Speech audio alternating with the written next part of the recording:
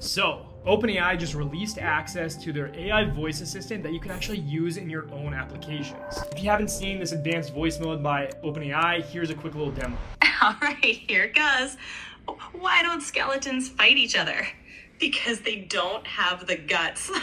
So they are now calling this the real-time API. And what this does is this allows you to use this AI voice assistant inside of your own applications using the API. And in this video, I'm gonna show you a comprehensive demo of this inside of an application so you can see the future of how we'll interact with our own apps. Before we get started, I do wanna say this absolutely blew my mind and I think this is really gonna change the way that we interact with applications. So make sure to stick to the end of this video. All right, so I'm gonna show you this quick example first and then I'm gonna talk about why this is so impactful and how this is gonna change way we interact with these different applications in the future. So as you can see here, I'm gonna click connect.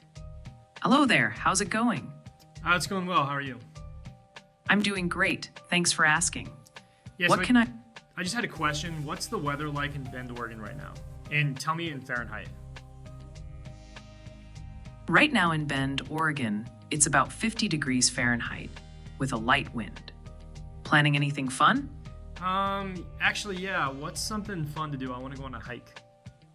That sounds awesome. In Bend, you've got some great hiking options. You could check out Tumalo Falls for a scenic trail with a stunning waterfall. Okay, thank you. Um, could you actually now tell me what the weather is like in Mallorca, Spain? But can you read it for me in Spanish?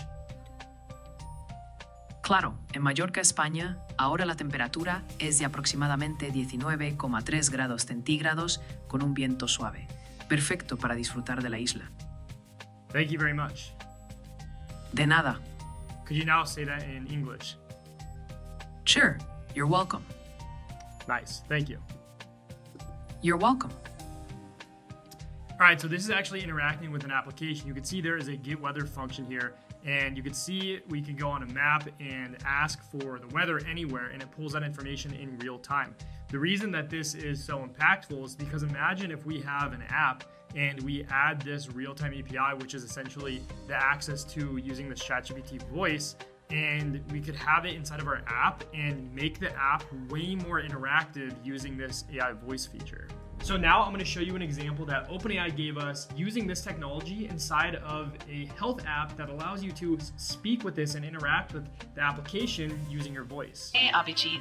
How's it going? Going well. I'm here with Tushar, figuring out what to do for lunch. खाने में क्या खाएं? All right, Abhijit. Here are some delicious and nutritious recommendations for lunch. रिया एक बात कर यार देख अभी एक बजने वाला है और हम लोग यहीं पे निकलने वाले हैं मिशन बे के आसपास तो कुछ और आइडियाज बता ना Bilkul, Abhijit.